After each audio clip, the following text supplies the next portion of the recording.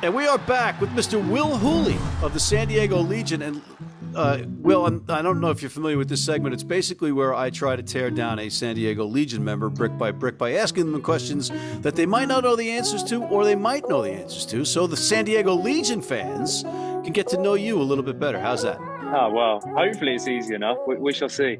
All right. Before we get into that, I just want to say I want to wish you well. I know that you've been injured, and I hope you're coming back soon.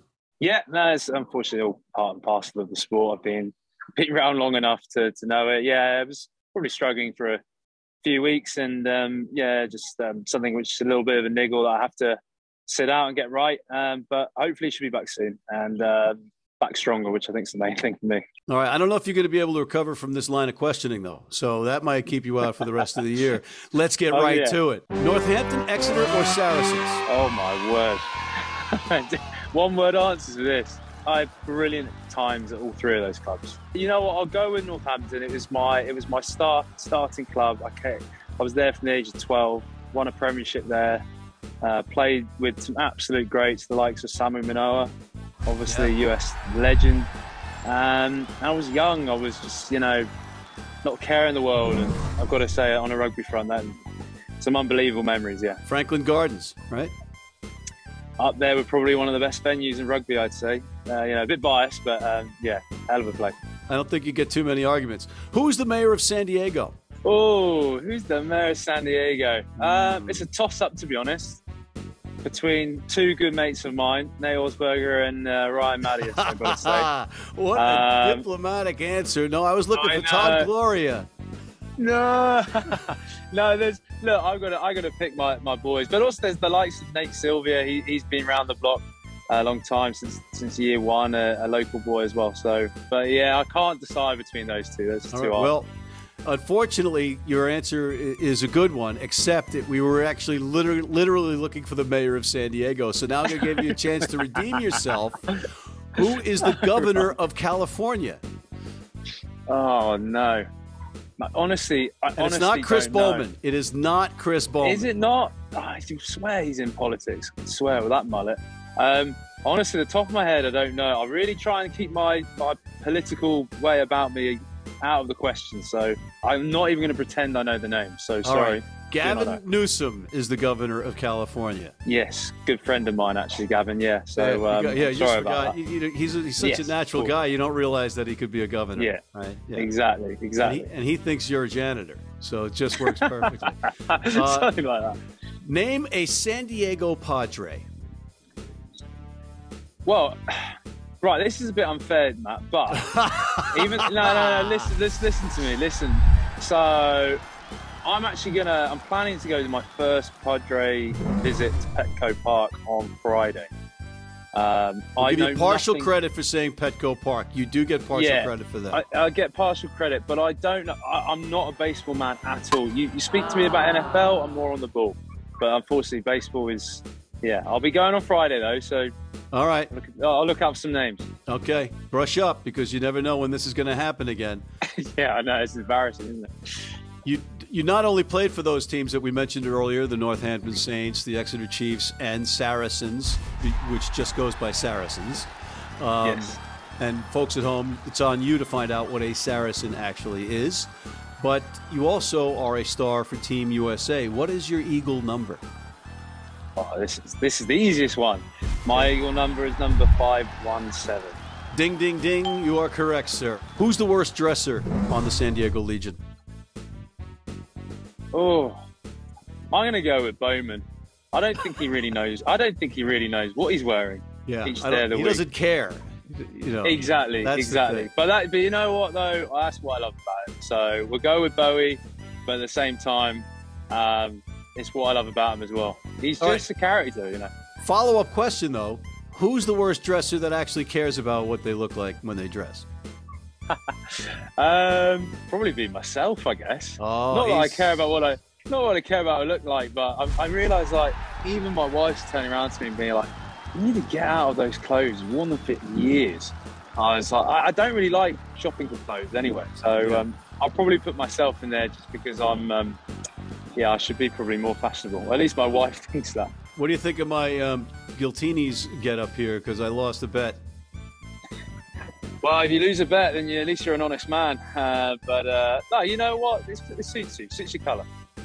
Thank you. Thank you. You're a good man. Who is yeah. the one guy on your team that if you had to walk into a dark alley, you'd want in front of you? Probably Ma'a. The thing is with, with Ma'a is that he's he's a character. He, he's like a big kid, but like when he's switched on or he's annoyed about something, he just gives that like glare. Yeah. And you're like, right, yeah, I'll shut up, or yeah, right, I'll do that. Um, yeah, so he'd have my back. Well, I like to think he'd have my back. He'd probably just push a posh Englishman into into trouble and just forget. What? Hopefully what? not. Hopefully what? not. A Kiwi and an English guy? Come on. Yeah, exactly. Thick of the uh, it goes goes way back. Commonwealth, you name it. Nah, yeah. I, I, I back Ma'a to, to help me out, I reckon. All right, here's the final question for you. Since you're actually from Cambridge, correct? That is correct. Yep. That makes you automatically smarter than most people on this planet. So here's my question. Yeah. If a plane crashes on the border of Scotland and Wales, where do they bury the survivors? well, you can't. There's no border between Wales and Scotland, so there you go. Oh, okay. But you also don't bury survivors. you don't bury survivors. what question is that, man? That was a, that uh, was yeah. a catch. That was the tricky up question. People mostly get the second part of that right. By the way, you got the first part of it right.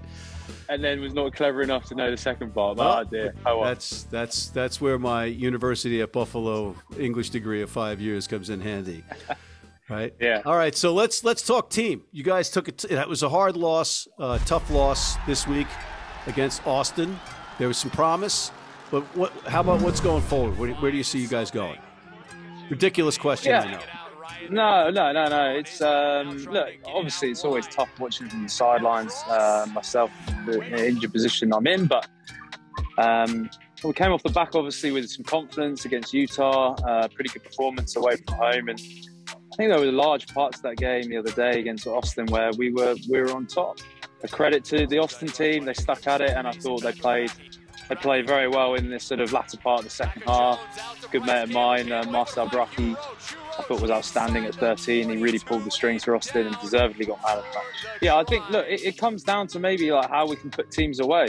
Yes, like all teams in the MLR probably at the moment, we, we're struggling with a few injuries. Uh, but at the same time, we put ourselves in good positions. Uh, and I think it really just comes down to how you keep that sort of foot on the throat. Maybe that little bit of focus, that time of, of um, doing the right thing at the right time, or just not giving away a silly penalty that allows them to get back in. It's fine margins, and I'm really noticing noticing that with the MLR. It, there's no fluidity to these games sometimes. It's great for the neutral because it's just one end to the other. But when you're playing, it can be, it can be hard to control. But we'll have to pick ourselves up uh, because the second half of the season is all in front of us. So you've been around. You've played in some very good setups professionally. What? How does this compare? Look, first and foremost, the MLR is is a fantastic competition. I, I, I'm really surprised, probably with just the the skill level, uh, the know-how uh, of teams. Um, considering this competition is only what five years old, I know yeah. it does have players, you know, all over the globe.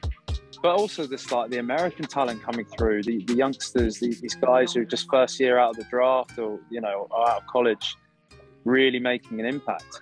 And I would say honestly, like it's right up there with the skill set, the speed, like I just said before, though, it's probably about that fluidity um, in in the games. Probably back home in in the top leagues, you know, when you're on top, you stay on top, and and you know how to close out games. And maybe there's that's not quite there in the MLR, but it makes it really exciting.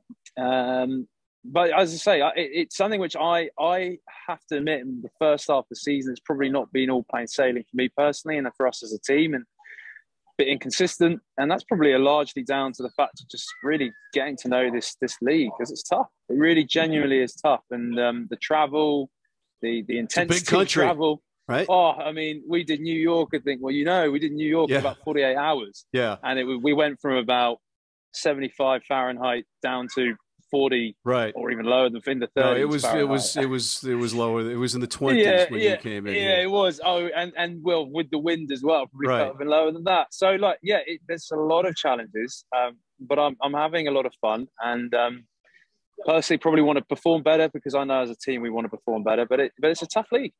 And you know what? Win or lose If you if you're on the road, you get to go back to San Diego, whereas I got to stay here in 20 degree weather. So it's you know you, you're doing it right, kid. You're doing it right. I, I have to admit, I am enjoying California. My wife and I are very happy where we are, put that way. Little different than Exeter, right? The weather's slightly different. than, than little London. bit, little bit. Yeah, slightly yeah, different. Little All right. bit indeed. Well, best of luck going forward. We're rooting for you. I'm always a fan. Thanks for coming on. Appreciate it, man. Thanks for having me.